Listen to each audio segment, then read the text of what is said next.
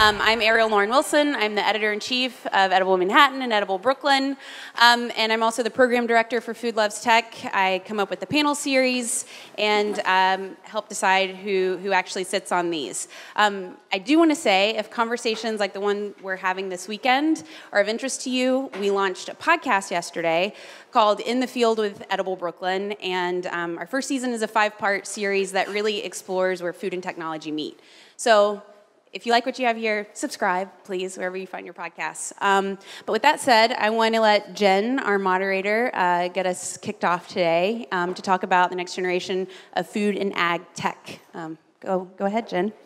All right, thank you. Um, so, like Lauren said, my name is Jennifer Goggin. I am a co founder of Startle, which is an innovation studio for the food ecosystem. Um, and I'm joined here today by six very interesting panelists, all working on a slightly different aspect of uh, next generation technology in the food space. Um, so I'm going to do a quick uh, rundown of, of who everybody is up here, and then we'll start with some questions on everybody's particular area of focus, and then I hope that the other panelists will jump in to give their thoughts on that topic as well. Um, so to my left, I have Daniel Beckmann, who's the co-founder of Foodshed.io, which is a market and logistics platform for local food. Uh, next to him, I have Kim Huskey, the Food Services Program Manager at Google. Then I have Deepak Sekar, the founder and CEO of Chowbotics. Um, then there's Maggie Coblentz, this, from the Space Exploration Initiative at MIT's Media Lab. Um, then we have Jason Green, who's the founder and CEO of EdenWorks, which is an aquaponic vertical farm in Brooklyn. Um, and then finally, we have Shen Tong down there from Food Future Co., uh, which is a startup um, accelerator for the food for, for the food space for food companies. Um, so we'll jump right in, going a little randomly this morning, and we'll start with Deepak. Uh, so a question that my, my partner always asks when we're looking at new technologies or new initiatives to explore is why. So why does the world, why does the industry, why do consumers need this new technology, and how can it change the food system for the better? Um, so for, well, I want to ask you what your long-term vision is for robotics in the food space, um, and how can it help change our food system beyond just um, decreasing labor costs, for example? Yeah, how many of you uh, uh have actually seen a robot make food? Did, did you see it in the building next door yesterday? Uh, we, we have a robot out there. But pretty much every one of you has eaten food made by a robot already. Anytime you get tortillas from the grocery store, those were made by robots. Uh, anytime you get frozen food in the grocery store, those were made by robots as well. And robots have been making these food types the last 10 years. What's happening right now is that uh, robots are becoming smaller and smaller. They're becoming less expensive prices for robots have gone way down. They've gone down by 5x in the past five years. So, and, and anytime prices for a technology go down, you start seeing more and more market adoption. So in the next five to 10 years, people expect robots are going to be making food in cafeterias and restaurants and hotels and a whole bunch of other places. Now, the question is why, right? Uh, and it's not just the labor cost reduction. I'll give you a couple of examples to explain why. Uh, for example, with our robot, uh, our robot's called Sally. Uh, uh, we put it in a bunch of hospitals. Uh, and with hospitals, what happens is if you have a salad bar out there, then if someone's sick and they go touch the spoons or food in a salad bar, they can make others sick. It's, it's a bit of a health hazard. Now, if you have a robot, and if you go to the next building, you'll see how the robot's designed. The end customer does not touch the spoons or the food, so it's a lot more hygienic. Another benefit is uh, a robot doesn't need to sleep, so it's available 24-7. So if you're going to a hospital late in the night, you can actually get food. Uh, and uh, we're seeing other uses as well. The food stays fresh far longer than in a salad bar. In a salad bar, for example, it, the food's all open to the air. The romaine starts browning after a day or so, while in uh, a robot like ours, uh, uh, you can keep the food fresh for three days because it's all like an, it's stored in a refrigerated compartment and it's airtight. So robots have other benefits. Uh, I can give you one more example as well. We put uh, our robot in a convenience store in uh, Silicon Valley and uh, entree size salad costs $3.49. It's the lowest price entree salad in Silicon Valley. And it's not just because uh, uh, you're uh, reducing the labor involvement. It's also because these convenience stores used to get uh, food packaged by a third-party vendor who used to get 40% margins. Uh, by putting this robot in the convenience store, you could eliminate this middleman in the supply chain, and you could get produce directly from Sysco and put it inside Sally. And because you eliminated a step in the supply chain, your food becomes less expensive. Now, the benefit of having less expensive food is huge, right? There's so many people struggling to get healthy food, struggling to get food in the first place. And if the cost of food goes down quite a bit because of innovations like this, you're going to make the world a much better place, I believe. Anybody else have thoughts on robotics or other similar technology? Well, um, Kim from Google um, Deepak, we have piloted some of your Sallies in, um, in our environment, in our corporate food service environment. And the labor issue is, is an issue. Um, and we see it as though being able to provide better, more efficient, productive work workforces. So if we're not hiring dishwashers or, or maybe lower skills, like these, these folks we can train and help improve like more holistically uh, the our entire environment. So it's a it's another add to what everything that you spoke about. Right. And I've, I've also noticed uh, uh, many companies have data centers all over the country, and the data centers are in remote locations where it's hard to get labor. That's and right. Uh, data centers need to be staffed 24/7, uh, and people working late night shifts don't have access to food as well. Uh, and they eat junk food from vending machines and put on weight. Uh, but if you put some of these robots in there, you can get fresh food uh, late in the night as well, I believe.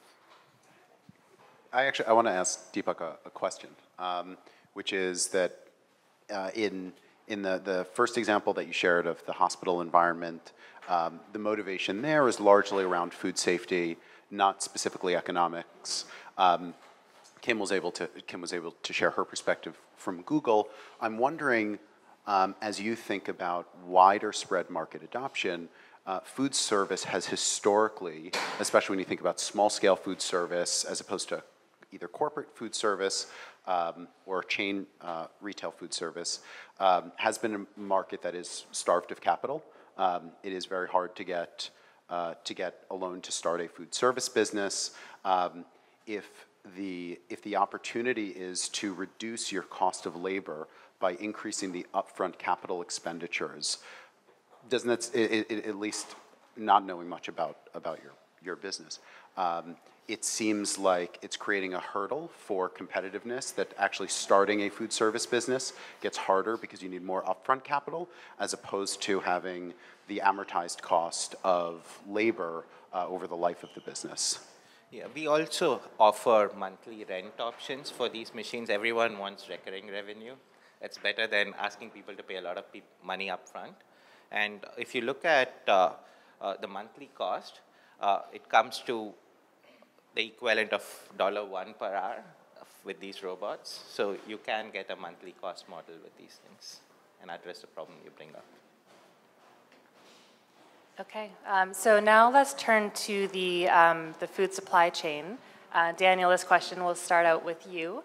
Um, so ever since I started in the food industry, there's been this tension between the desire to strengthen the market for local food, particularly grown by smaller family farms, and then the charge that this food is often um, more expensive and, and, really only for the people that A, care where their food comes from, and B, can afford to actually go out of their way to these alternate channels to get them.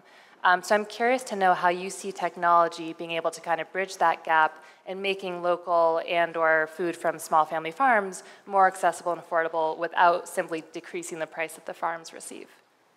Yeah, this is kind of the mission that I'm on. I, will give you a little bit of my background. I think I come from the perspective that a lot of Americans have. Uh, I grew up in Toledo, Ohio, and fun fruits and fruit roll-ups were considered fruits and vegetables where I grew up. Uh, that's kind of what I had. Um, the produce that we had there uh, had no flavor. Um, it generally wasn't very good. I was convinced that where we were at in Ohio, we were actually getting worse things than Dayton. So I don't know if that means anything to anybody in this room, but uh, you just kind of give up on the produce section uh, in a lot of places in this country, and I, I, grew up in the 80s and 90s. Uh, I live in, I lived here in Brooklyn and also in San Francisco, and clearly uh, these communities have a different perspective in certain areas of this community. I would say, um, surprisingly, in California, especially because in the Central Valley we grow most of this stuff, um, that people still get their groceries at places like Safeway, um, you know, Ralph's, Vons, Albertsons, these big mainstream grocery chains. They get it from restaurants that they go to. So one of the reasons that it has been so expensive is that there isn't enough scale to really make this work. And there really isn't a lot of infrastructure uh, that's even built or even available for independent farms that are growing food for people uh, in a regenerative way to reach the market. There are a lot of challenges between uh, when you're a farm and, and getting into all of these places. And we've been working here in New York City, and uh, more recently, we've been working in Missouri. And I generally, when I, when I leave uh, Brooklyn or when I leave San Francisco, people want to give me a suitcase of you should tell thems. And uh, you should tell them this about what they're eating. You should tell them that they should realize this. And the truth is, in most of these places in, in the world, but in the country, like people are, are focusing on many other things, and, and the suitcase of shouldas is actually very condescending.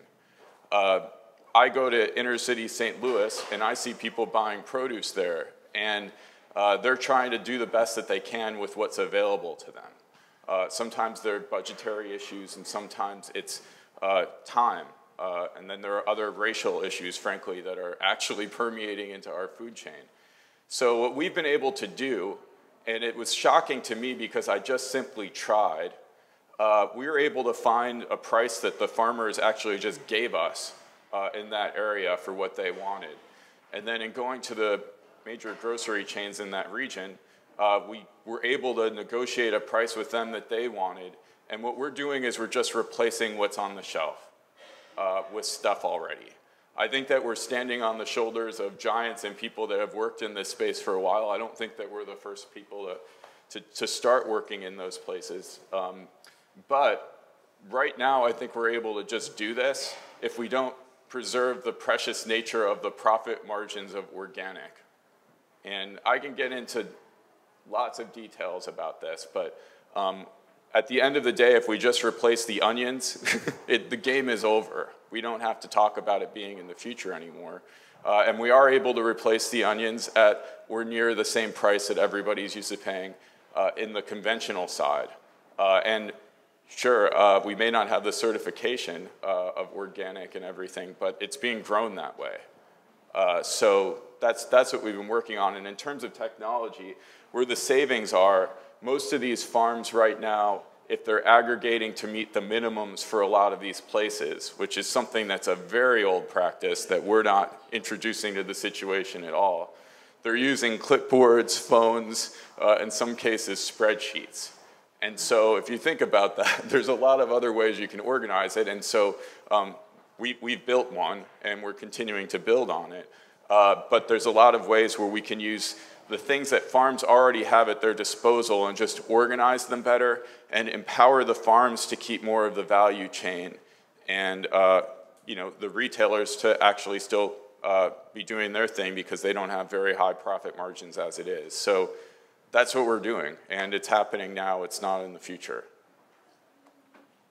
One thing i forgot to uh, ask you before but i feel like we can't be at a next gen technology platform without bringing this up is do you use blockchain and do you have feelings about that in the food system? Um, we have a much more complicated supply chain.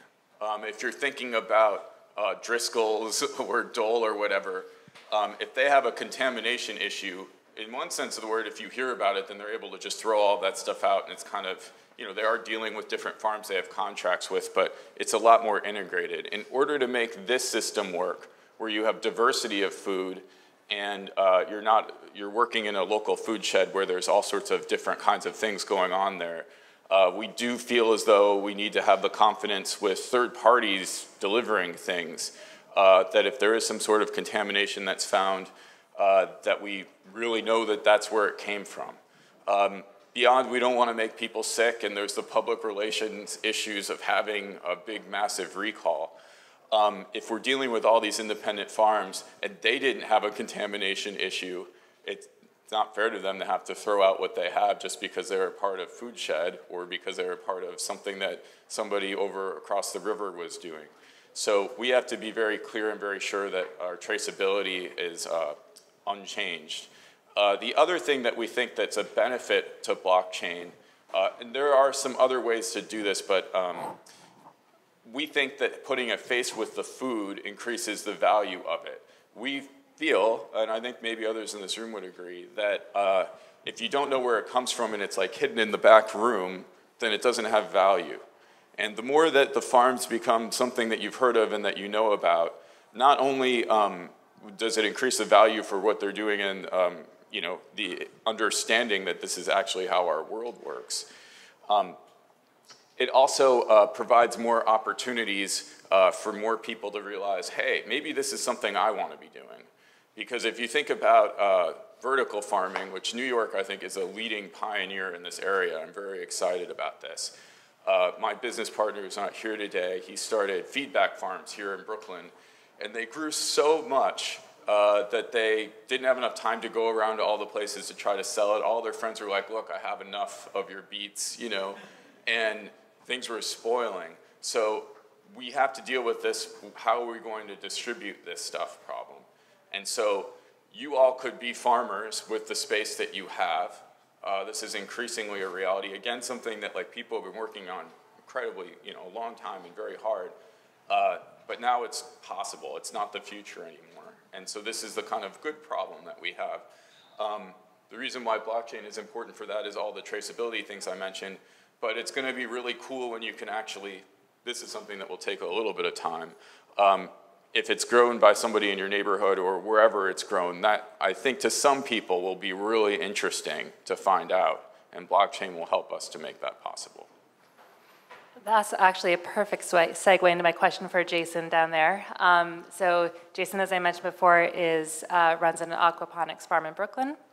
So my question for you, Jason, is that I've seen you talk at other events about how any innovations and new technologies in agriculture should focus more on growing a diversity of micronutrients as opposed to simply increasing the number of calories that we're, we're growing. Um, and in your opinion, the solution, of course, is indoor farming. Um, but for the most, for the farms that I've seen and, and, the ones that are exhibiting here, most of them are just growing um, greens, microgreens, and herbs, that kind of thing. So I'm curious to know what you think has to happen to get the technology for indoor farming to a place that we can actually grow the full spectrum of, of nutrients that, that we should be having. Yeah, so um, just starting off with like the science of greens. So leafy greens can grow uh, or can provide all of the nutrients that are not fat soluble. So all of the vitamins, minerals that aren't uh, carried by fat. The nutrients that are carried by fat are things like the omega-3 fatty acids, B12, vitamin D, selenium. Um, everything else can be grown by or can be delivered through a leafy green. Um, and so if we're just going to talk about like optimizing indoor farming for the purpose of micronutrient delivery, then leafy greens can do that. Now, from a culinary perspective, I don't know if that's the solution. Um, but if, if we're going to talk about how can indoor farms grow uh, more of the food on our plate, uh, what we do at EdenWorks, as you mentioned, is uh, we do uh, aquaponics. So we're actually running an aquaculture facility, a fish farming facility. We're breaking down the waste from all of the fish that we're growing, um, kind of like brewing beer, but we brew poop into fertilizer using bacteria. Um, and then we grow produce off of all of that fertilizer. Um, now, as a result of that, we are both doing clean produce uh, using fertilizer that's coming directly from animals that's digested by microbes. Uh, it is in line with organic practices. We use all organic practices. Um, we're not certified today. We're in the process of going certified, but we today use all organic practices. Um, but the other aspect is that we're, we are growing fish. Now, uh, it may be surprising to learn that aquaculture, fish farming, is actually the single largest source of protein in the world. Uh, aquaculture is, by market size, the first sale. So every, like, cut fish off the boat um, is about $232 billion. That product, by the time it actually ends up on the consumer's place, plate, is worth something around a trillion dollars globally. It's a massive market. It's growing at twice the rate of the beef market. It's almost twice the market size of beef. Um, and so aquaculture is, and, and aquaculture is already more than, uh, more than the entire uh, wild stock of fish that we're harvesting every year. Um, and so that's all to say that by growing fish, we are now in the largest, fastest growing, and uh, largest portion of consumers' plates uh, globally.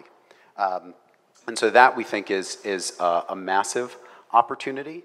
Um, and then, uh, and then as we think from also from a culinary perspective, what we're doing with leafy greens is basically doing the first stage of growth. It's like running a nursery, but you're harvesting all of your product out of a nursery.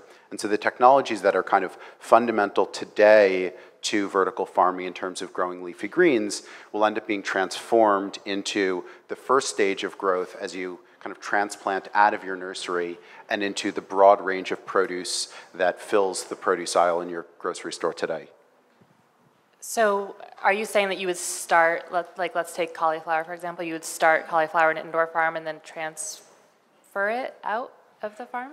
So you could you could do it two ways. I mean, we do broccoli greens, for example. Broccoli greens are delicious. It is, it uh, it's like a super, almost like a meteor uh, green flavor. Um, but uh, so it tastes it tastes like broccoli with with all that all that richness, um, a little less bitter than a head of broccoli, um, but uh, but the texture of a leafy green. So there's there is transforming uh, what we what we're used to seeing as a broccoli or as a cauliflower into a different product, and that's already happening on your plate today.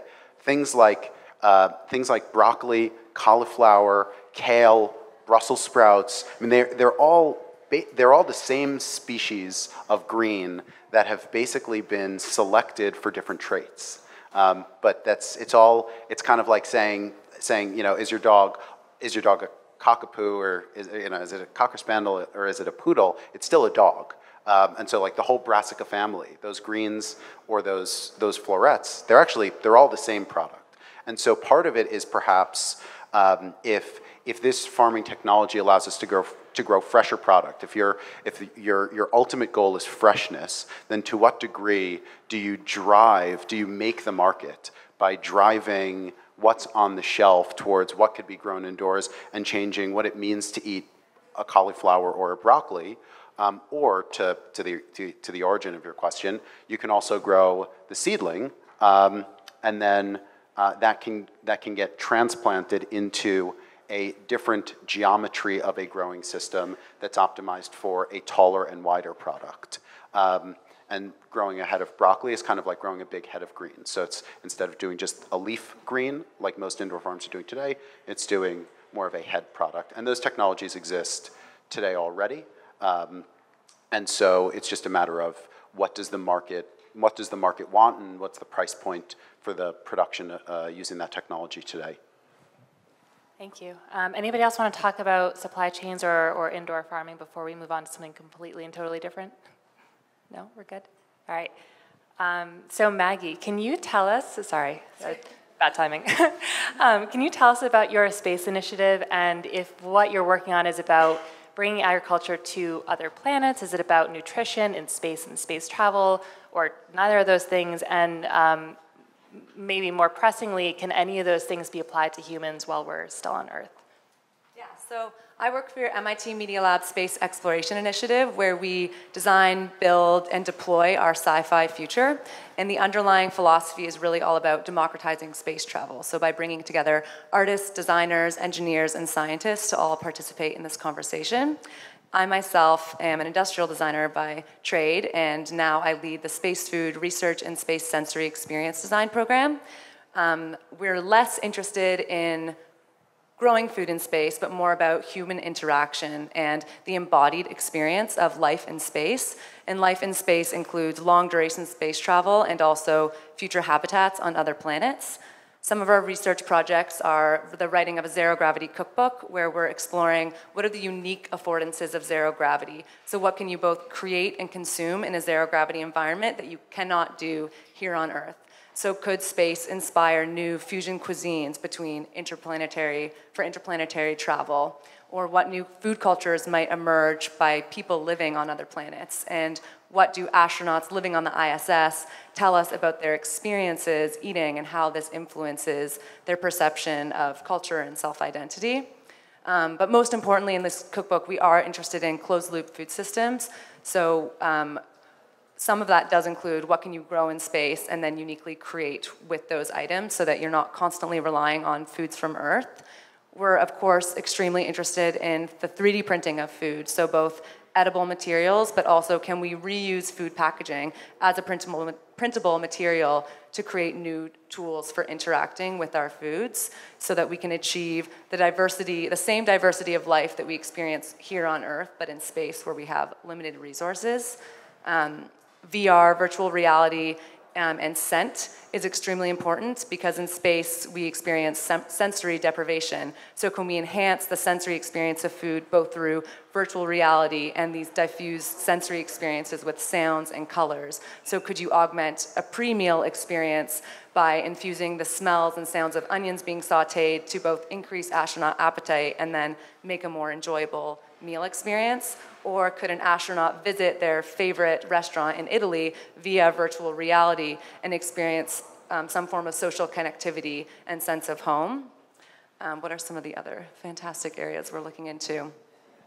We, one of the most important parts of our lab is that we, we deploy all of our designs. So you cannot research space without actually going to space, and that doesn't mean I get to go to space, but can my designs go to space? So some low-hanging fruit would be a zero-gravity flight, where we actually fly our designs on simulated um, zero-gravity flights through a parabolic flight maneuver, for those of you who aren't familiar, where you get to see how does the physiology of eating actually change in zero gravity. Do my bites have to be smaller?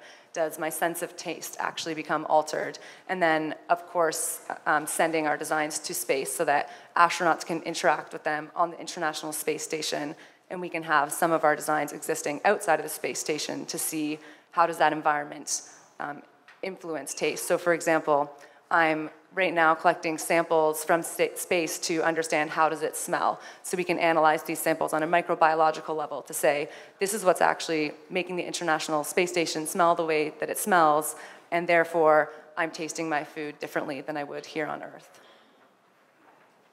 Cool. Anybody have thoughts on that?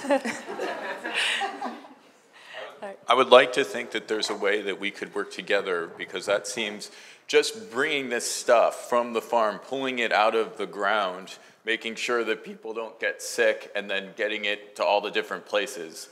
We're struggling to do that on planet Earth. Mm-hmm. So maybe there's a way we can leapfrog some of the challenges that we have yeah. by working together. I agree. And I think that, like all space exploration, the mission is always how does this actually impact um, us here today on Earth? So, what can these technologies tell us about ourselves and about our planet? So, it's not simply just saying, let's all leave forever and eat these things outside, but um, just a lens back at ourselves, really.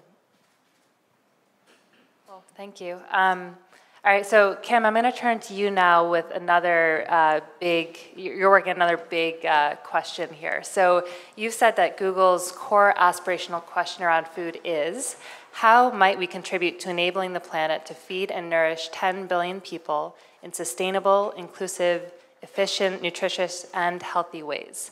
Um, so I'm curious how Google is doing that, given that it's a, a tech giant serving food rather than an actual food company. Right. So I'm I'm on the um, the food team at Google, which is an internal organization responsible for all of the food and food experiences for those who work at Google and our guests and visitors, um, which translates into about 200,000 meals a day in over 250 restaurants in 55 countries. So it's kind of like a medium sized food and beverage company. And because we're Google, um, we're interested not only in providing these food experiences for those who work there, but how can we influence and shape and be thought leaders within the food space and think about this bigger question. Um, because we, we know that food systems today are unsustainable and leave many in poverty and, and our earth in a poor condition, and we're not feeding everybody properly. So one of the ways that, that the food team at Google looks at it is, and it's only one way, we don't have all of the answers, we try to partner with a lot of different organizations. We look at um, supporting and inspiring a plant forward diet and thinking about how we can do that in a corporate food service environment. A lot of it is not just, at Google, we're not just going to take it away. There's other organizations out there that have just said no more meat. At Google, we believe in uh, offering choice and giving the uh, information and technology for those to make those decisions that are best for them.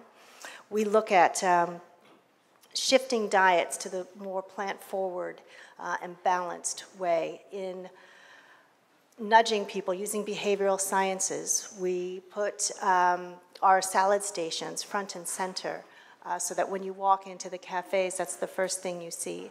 And it's all about flavor rules. We were talking, um, Jason was talking about, you know, culinary and, and these different kinds of, of vegetables in Brassica the way we get to our users is through culinary and the engagement with the chefs. So, do the chefs have those skills? It's not super, a lot of people don't find it really easy to uh, cook vegetables and, and make these um, balanced plant forward meals. So, how do we give our chefs and inspire other chefs to cook uh, plant forward? So, we give them the skills. We also try to give our users these skills, and we have teaching kitchens and offer classes.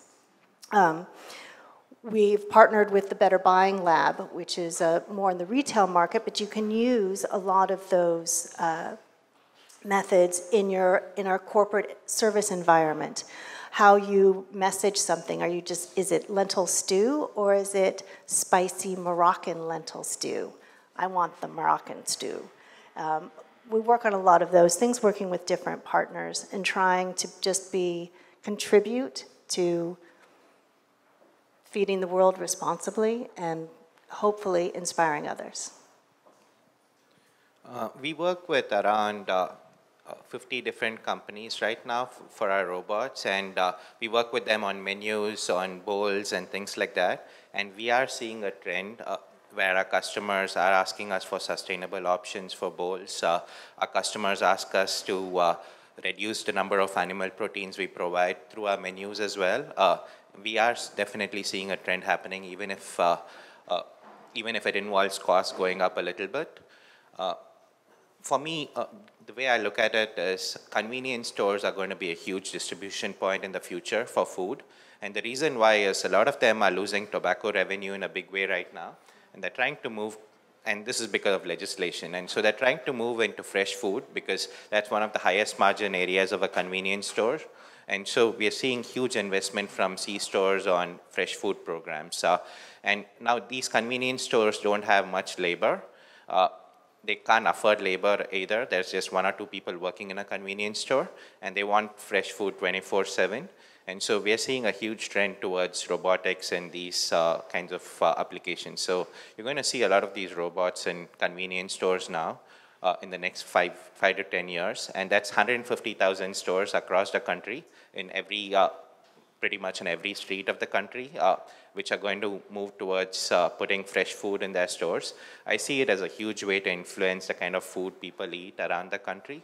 Uh, and so uh, I think you're going to see more and more sustainable options there. You're going to see these convenience stores move from just pizzas to and hot dogs to more fresh food options. We're seeing demand from convenience stores uh, for more fresh food options as well. And so, I see it as a way for us to personally influence all that. To add to, to Deepak's point, the best selling salad product in America right now is the Ready Pac Bistro Bowl. Um, it's a pre-made salad with protein and toppers. It has been the best selling product for like 10 years. Um, and the reason that it has such high uh, sales is because the convenience aspect of it. You can buy that product in convenience stores, you can buy it in Walmart, uh, and everywhere in between. Um, and so making making uh, fresh, nutritious, sustainable product products uh, convenient through grab and go formats totally transforms markets. Yeah, convenience is a is a big thing. Making the best choice, the easiest choice. We think a, a lot about that, and then more broadly, right? Like where where are you procuring it? How is it getting to you? How how are we dealing with our waste? Really trying to, you know, every step of the way accelerate that circular economy, right? You, you touched on that as well with the bowls, and it's a fascinating subject.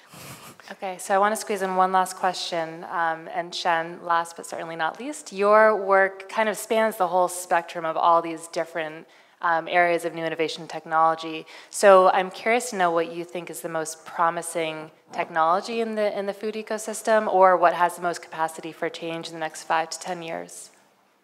Well, I take the, uh, the word technology uh, uh, broadly. I, I think um, the, uh, first of all, congratulations to, the, to Lauren and the, and the conference to have such a wide diversity of topics, and, and that's part of it's really the fun part of my job to uh, to be uh, uh, to found FoodX four years ago and Food Future Co. two years ago, uh, Food Accelerator, looking at hundreds of startup ideas and feeling the entrepreneur energy from all these different aspects and and uh, and, and the supply chain and, and um, high tech, hardcore tech, and cutting edge science and tech like microbiome and, um, and various uh, kind of multi-parts of solution in urban agriculture, uh, local um, food economy, closed loop, regenerative, and all of that. But the reason I, I you know, I, uh, but actually, uh, uh, a quick show of hands, how many students are here? How many of you are students? How many are food uh, startup founders? Food writers?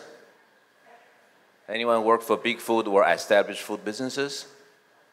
All right. Well, you know, thank you. The, the fact is, uh, whoever I forgot, I mean, it's part of this is just for you to see each other, and and uh, and, and, and, it's surprising that I, I barely could. Well, I'm a night person. I mean, I barely made it to the panel, but uh, it's a full room. So, uh, you know, a lot of you probably from Manhattan. You probably have your passport with you, and and, and uh, the great thing is that you know, it looks like a food movement, a food trend is uh, and alive and well, right? I mean, food is still new black, and I, I, just got to say that every time I come to Brooklyn conference. And then because this is the center of the known food universe, right? I mean, you ask uh, Jason, uh, you, you, you know, ask Brooklyn people will tell you, but, but so, so, but another thing is that food is not just new black, it's not just trendy. Food is new internet. I mean, that seems to be to the point, right? So it's a, a full of tech. The reason I, I talked about food, food is a new internet is one, it's a central uh, impact on all human aspects of life, all aspects of human life, right? And Earth, right? So, so uh, it was I, I used to um, have this phrase that you know I, I realized ten years ago that how agriculture and food is so central to all human challenges we face in the next 20 years. You know, it could be, you know, of course, health and, and environment, but also education and war because transportation and oil and, and maybe I, I make a caveat. So maybe with the exception of space travel, it's central to every everything we're facing, every major challenges, right? Mean, apparently it's not. Right? I mean, it's how, how we feed, um, you know, healthy, sustainable way uh, astronauts. It's it's uh, it's uh, becoming more and more important. But, but one thing I, I think I, I, have a report back to, to this uh, home audience um, is that for the last year, there are two very, very encouraging trends I'm seeing, right? It's not, uh, I mean, in Brooklyn, we of course know we are what we eat, but it seems like more and more so in mainstream, we understand we are what we eat, eat.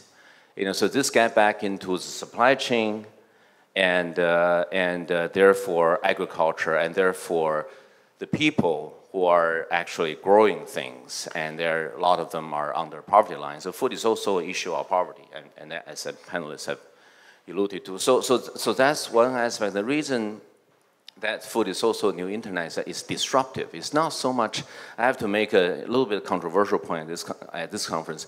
It's not food tech per se.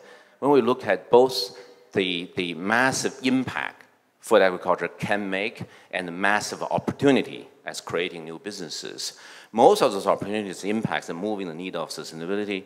It's not necessarily a hard tech or, or even tech enabled. It's, it is really new behavior patterns and new uh, uh, marketplaces. And I'll do a shameless plug uh, of two companies. And this, I mean, talking about not hard tech, this is uh, Frozen Berry. It's now in uh, New Jersey and, and, and it's one of a company called Seal the Season. They just use flash frozen. I mean, and part of the reason I have in my bag is because actually I, I ate this uh, for breakfast uh, on the way over here. There's another one. It's a mushroom-made uh, jerky. It's jerky made out of mushroom, right? So, so I mean, the, the, and, and, and the point to, to make about Seal the Season is that uh, it's not even organic. It's, uh, it's conventional, but it supports, talking about traceability, it supports, I mean, this, here's a, a farmer, uh, Gary, you know, and, uh, and it does, it, it changes several things, right? It, it changes transportation, your local consider, let's say 80 miles around the city center, right? Compared to 150 miles, no, 1,500 miles on average behind each grocery item that travels in this country, right? And, and it tapped into something that, of course, is tech-enabled, uh, but, but also it tapped into two surprising trends we didn't foresee when we took this company that was only in 10 stores. Now they're in 3,000 stores in two years. Very, very good news for food entrepreneurs that are not particularly tech. One, buying local uh, surpassed buying organic. You know, uh, starting in California two years ago, now generally that's, that's the case in North America, right? And two, convenience. And, and, and uh, you know, fresh and cooking is great, and cooking in the, in the US, the story is that cooking is great as long as not me, right? So, so uh, you know, frozen, fa fast frozen, supporting local farmers, it, it, it become a dream product to something, we, I, actually, Ms. Sang Su, I thought, of course, you're organic, right? When I, when I interviewed them. And, and, and so, so I think that's, uh, if, you, if, if we take a cue from electric cars and uh, renewable energy, what we're looking at in terms of tech is really, I think, uh, disruption is eating the world, not so much hard, hard tech. Right? And, uh, uh, and also, I think uh, sustainability should be eating the world because, as you, many of you may know, the, we passed 1.5 degree right, last month. Right? I mean, that's, this is 1.5 degree above the pre-industrial level you know, I mean, if we pass two degrees, and most of the uh, environmental scientists uh, will tell you actually it is 1.5 degrees, in 10 years, Earth will still be here, we may not, you know, and, and, uh, and so, so uh, um, I think this, uh, this, uh, this sustainability impact that food and agriculture as carbon sink, that's the second report back. The first one is traceability to agriculture. The second is that the convergence uh, and mainstream understanding about food agriculture, sus sustainable food agriculture is the largest carbon sink in reverse global warming, more than clean energy. I think those convergence of trends are incredibly important and, and pushing this trend, this movement forward. Um, I, I want, Shen made an incredibly important point, and I just wanted to jump in here because when you called it the internet, um, I use this example a lot because if you go to a, a mainstream grocery store, uh, the amount of choice that you have in a produce section is less than people had um, in the 50s and 60s for television. Uh, we aren't yet in, term, in, in cable uh, in terms of our ability to have any sort of diversity in programming there. And what we're trying to do, and we may fail, maybe somebody else will come along and do this, and I really want to say this in front of this many people and make this point now, if you think about what happened in the media infrastructure and the dismediation uh, that, that occurred in the 90s and the 2000s, um, Facebook might be making people sick now. There's evidence that it's actually helping genocides happen. And the food system that we're, we have the opportunity to build here new again uh, could be done as poorly as social media and the rest of the internet has been done. And that's something that I'm really concerned with. There are definite advances here that people can use, and if we use them to make people more sick and have more bad food that's distributed, we all need to be cognizant and watchful of that. I want everybody in this room to hold me accountable if for some reason my thing gets to be one of the major ones. Uh, that I'm not going to just ignore. If anybody saw Frontline this week, they'll know what I'm talking about. They're not just going to ignore people crying for help because they're getting killed um, or just getting bad food.